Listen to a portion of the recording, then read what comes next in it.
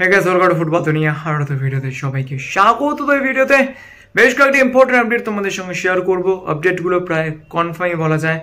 তো ফার্স্টে আমি শুরু করছি একজন অস্ট্রেলিয়ান সেন্টার দিয়ে, যার ব্যাপারে মোস্ট প্রায় তিন দিন আগে আমি তোমাদেরকে বলেছিলাম যে প্লেয়ার সঙ্গে কথাবার্তা বলতে শুরু করেছে। এবং এই মুহূর্তে যেটা লেটেস্ট আপডেট সিডনি এফসির এই প্লেয়ারটার সঙ্গে কিন্তু ইস্ট বেঙ্গলের কথাবার্তা প্রায় চূড়ান্ত। জেমস ডোনাচিকে কিন্তু নেওয়া হচ্ছে ইস্ট বেঙ্গল কোচ কার্লোস কোয়াদ্রাদের সঙ্গে কথাবার্তা বলার পরেই। দেখো এই প্লেয়ারটা কিন্তু যথেষ্ট ভালো এফসি গড়ে তাকে কিন্তু আমরা যথেষ্ট ভালো ফুটবলই খেলতে দেখেছিলাম। কিন্তু তার বর্তমান ক্লাব সিডনি এফসির হয়ে তিনি কিন্তু সেরকম ফর্মে নেই, বেশ কিছু মাস হলো। তবে প্লেয়ারটির মধ্যে পোটেনশিয়ালিটি রয়েছে। হয়তো ইস্ট বেঙ্গলে বর্তমান কোচ কার্লোস কোয়াদ্রা জেমস সোনাচির মধ্যে এমন কিছু দেখেছেন যার জন্য তাকে রেকমেন্ড করেছেন ইস্ট বেঙ্গল ম্যানেজমেন্টের কাছে সই করানোর জন্য।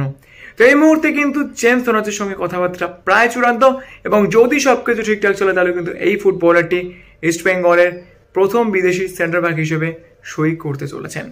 অন্যদিকে ইস্ট বেঙ্গল কিন্তু একজন ভালো মানের ইন্ডিয়ান সেন্টার ব্যাককেও খুঁজছে। তো এই মুহূর্তে কিন্তু তাদের সঙ্গে একজন ইন্ডিয়ান সেন্টার ব্যাকের লিঙ্ক আপ তৈরি হয়েছে। প্লেয়ারটির নাম হচ্ছে পারাক শ্রীভাস যিনি বর্তমানে খেলেন ব্যাঙ্গালুরু এফসির হয়ে। দু হাজার উনিশ সাল থেকে তিনি কিন্তু ব্যাঙ্গালুরু এফসির হয়েই খেলছেন। তো প্লেয়ারটার সেরকমভাবে কিন্তু আইএসএল খুব বেশি গেম টাইম পাননি।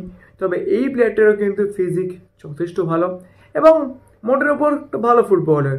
তো এই সঙ্গে কিন্তু ইস্ট বেঙ্গলের কথাবার্তা এই মুহূর্তে চলছে এবং হয়তো এই প্লেয়ারটা ইস্ট বেঙ্গলে এই সিজনে সাইন করতেও পারে। অন্যদিকে যেটা বড় আপডেট সেটা হচ্ছে গোলকিপার নিয়ে। অনেক জায়গায় শোনা যাচ্ছে ইস্ট বেঙ্গল তাদের একজন গোলকিপারের সঙ্গে কন্ট্যাক্ট প্রায় চূড়ান্ত করে ফেলেছে। কিন্তু আমি তোমাদেরকে বলেছিলাম, বিভিন্ন প্লেয়ারের সঙ্গে কথাবার্তা বললেও কিন্তু এখনও সেরকমভাবে কোনো ফুটবলারকে চূড়ান্ত করতে পারেনি ইস্ট বেঙ্গল তো তোমাদেরকে একটা কথা বলে রাখছি, মুম্বাই সিটি এফসির গোলকিপার মোহাম্মদ নওয়াজের সঙ্গে কিন্তু ইস্ট বেঙ্গল কথাবার্তা অনেক দূর এগিয়ে ফেলেছে। যদিও তাদের প্রথম পছন্দ ছিল প্রফসুকান গিল কিন্তু প্রফসুকান গিলের জন্য কেলো ওয়েস্টার্স এফসি প্রায় দেড় কোটি টাকা ট্রান্সফার ফি চেয়েছে। এটা স্বাভাবিকভাবেই কোনো ইন্ডিয়ান ক্লাবের পক্ষে কোনো ভারতীয় ফুটবলারের জন্য দেওয়া পসিবল নয়।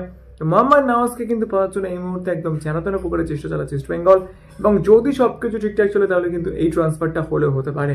তবে কয়েকটা দিন অবশ্যই ওয়েট করতে হবে নেওয়াজের ট্রান্সফারটার ব্যাপারে। তো যাই হোক, এই আপডেটগুলি তোমাদের সঙ্গে শেয়ার করা ছিল। যদি ভিডিওটা ভালো লাগে, তাহলে লাইক করে দিয়ে মনে করে কিন্তু আমার চ্যানেলকে সাবস্ক্রাইব করতে ভুলো না। আর পাশে থাকলে এখন মনে করো অল করে রেখে, যাতে নতুন ভিডিও পোস্ট করলেই সঙ্গে সঙ্গে তোমার কাছে নোটিফিকেশন চলে যায়। আর তোমরা যারা যারা আমার সঙ্গে ডাইরেক্টলি কথা বলছো পার্সোনাল ফেসবুক অ্যাকাউন্ট সঙ্গে আমাদের ফেসবুক গ্রুপের লিঙ্ক দুটো ডিসক্রিপশন বক্সে রয়েছে। সেখান থেকে তোমরা আমাকে ফলো করে নিতে পারো। তো চলো এখনকার মতো এই পর্যন্তই। দেখা হচ্ছে পরের ভিডিওতে